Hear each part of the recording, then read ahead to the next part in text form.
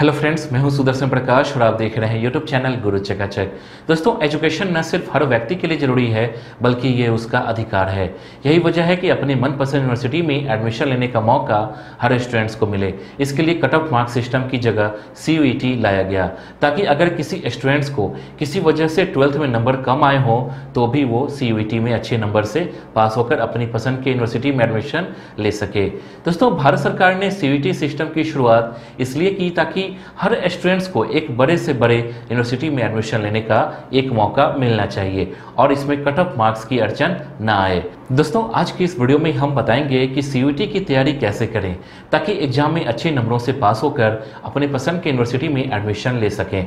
तो चलिए पहले कुछ पॉइंट्स को नोट कर लीजिए, जिससे आपको सीयूटी एग्ज़ाम की तैयारी करने में हेल्प मिलेगी। सबसे पहले जानते हैं सीयूटी क्या है। एग्ज़ाम पैटर्न को जानिए। सिलेबस की जानकारी होनी चाहिए।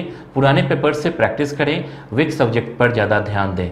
दोस्तों, अगर आप भी सी एग्ज़ाम की तैयारी कर रहे हैं तो आपके लिए इन तमाम पॉइंट्स को जानना ज़रूरी है। अगर आप इन पॉइंट्स पर अच्छे से काम करेंगे तो यकीन मानिए सी का एग्ज़ाम आपके लिए ज़्यादा मुश्किल नहीं रहने वाला है। तो चलिए अपने पहले पॉइंट से वीडियो की शुरुआत करते हैं और जानते हैं सी क्या है। दोस्तों, अगर आप CVT एग्ज़ाम की तैयारी कर रहे हैं तो सबसे पहले आपको ये जानना ज़रूरी है कि CVT एग्ज़ाम है क्या। क्योंकि आप किस चीज़ का एग्ज़ाम दे रहे हैं, उसके बारे में अगर आपको जानकारी नहीं है तो फिर एग्ज़ाम देने का कोई मतलब नहीं है। दोस्तों, दरअसल सी जिसका full form common university entrance test है, अगर आसान शब्दों में कहें तो सी एग्ज़ाम किसी भी यूनिवर्सिटी में प्रवेश करने का दरवाज़ा है। यानी कि अगर आप किसी यूनिवर्सिटी में एडमिशन लेना चाहते हैं तो आपको सी का एग्ज़ाम देना ही पड़ेगा।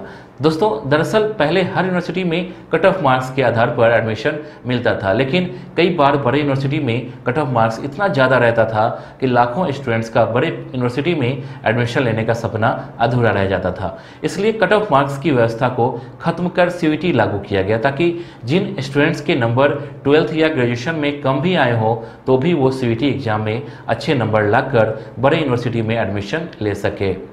इसके बाद जानते हैं एग्ज़ाम पैटर्न जानें। दोस्तों, हर स्टूडेंट्स के लिए ये जानना सबसे ज़्यादा ज़रूरी है कि वो जिस सी एग्ज़ाम की तैयारी कर रहे हैं, उसका एग्ज़ाम पैटर्न क्या है। आप खुद सोचिए, अगर आपको यही नहीं पता होगा कि एग्ज़ाम कैसे लिया जाएगा तो क्या आप उसकी तैयारी कर पाएँगे? ज़ाहिर सी बात है, आप उसकी तैयारी नहीं कर पाएँगे।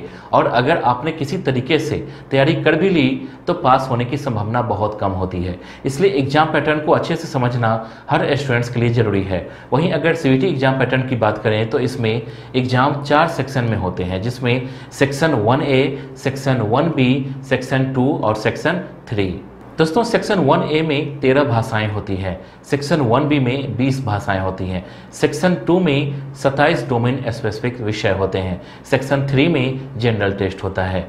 अगर आप भी सी एग्ज़ाम की तैयारी कर रहे हैं तो सीयूटी की वेबसाइट पर जाकर आप अच्छे से इसके बारे में जानकारी ज़रूर ले लीजिए। इसके बाद जानते हैं सिलेबस की जानकारी होनी चाहिए। दोस्तों, कई स्टूडेंट्स को सीयूटी का सिलेबस काफ़ी हार्ड लगता है, लेकिन अगर आप मन लगाकर मेहनत करेंगे तो इस एग्ज़ाम में अच्छे नंबरों से पास होना काफ़ी आसान हो जाएगा। इसलिए अगर आप भी सी एग्ज़ाम की तैयारी कर रहे हैं तो इसके सिलेबस के बारे में अच्छे से जानकारी ले लें और इसकी तैयारी अच्छे से करें।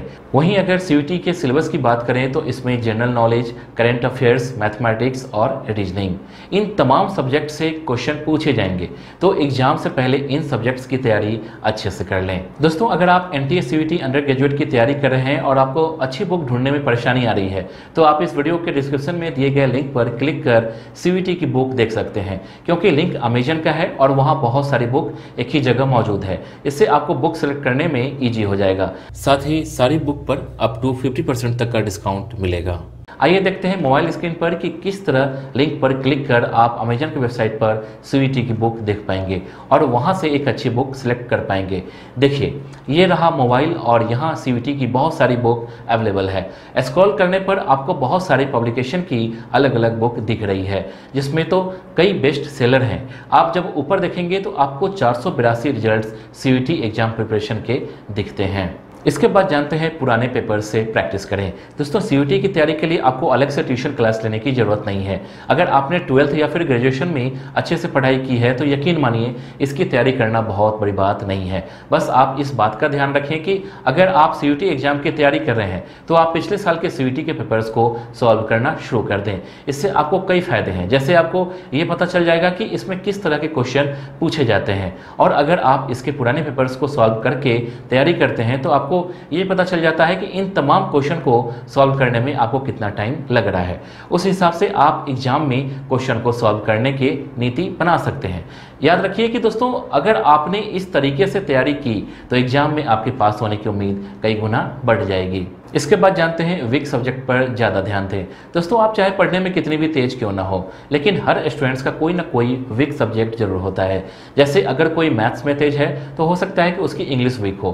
अगर कोई रीजनिंग में तेज है तो हो सकता है कि वो करेंट अफेयर्स में वीक हो। मतलब ये कि हर स्टूडेंट्स का कोई ना कोई वीक सब्जेक्ट ज़रूर होता है। इसलिए हर स्टूडेंट्स को अपने वीक सब्जेक्ट पर ज़्यादा ध्यान देना चाहिए। अगर आप एग्ज़ाम के लिए टाइम टेबल भी बना रहे हैं तो उसमें वीक सब्जेक्ट को ज़्यादा समय दें और उसे तब तक पढ़ें जब तक आपका उस सब्जेक्ट को लेकर कंसेप्ट क्लियर ना हो जाए। देखना एग्ज़ाम से पहले आपकी तैयारी इतनी ज़रूर हो जाएगी कि अगर आप टॉप टेन में जगह नहीं भी बना पाते हैं तो कम से कम इतने नंबर जोड़ ले आएँगे कि आपको यूनिवर्सिटी में एडमिशन मिल जाएगा। तो दोस्तों, इस वीडियो के लिए बस इतना ही। उम्मीद करता हूँ कि आपको ये वीडियो पसंद आई होगी। आपको नेक्स्ट वीडियो किस टॉपिक पर चाहिए, आप हमें कमेंट कर बता सकते हैं। वीडियो को लाइक और चैनल को सब्सक्राइब ज़रूर कीजिए। Thank you